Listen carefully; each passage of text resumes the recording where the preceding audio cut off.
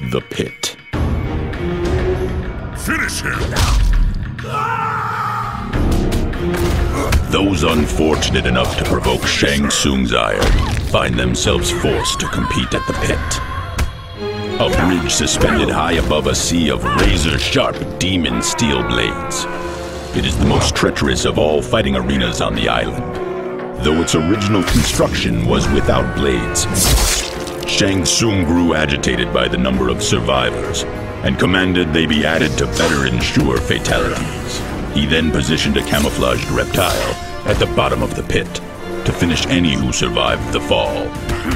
The carnage below is eventually consumed by the many subterranean creatures that dwell beneath the grounds of the palace. An unceremonious end for the unworthy.